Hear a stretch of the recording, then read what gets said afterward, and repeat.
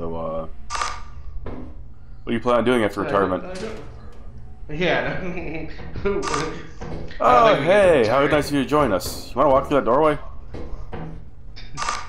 Don't do it. The 50-50 if you squeeze by the pet side of it. Don't do it. It's either he'll make it ex- past or he won't.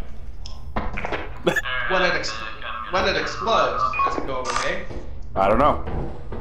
Oh, oh he fucking made it. Uh, did you turn it off yet? There's nothing in here, just a second landmine. Really? No items though. Oh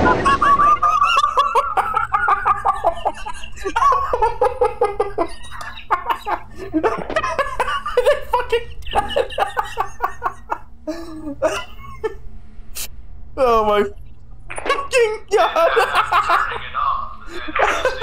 They're fucking dead! oh, fucking laser one tried to jump over it. He made it one way, and he tried to jump back, and he fucking landed on it from the door frame.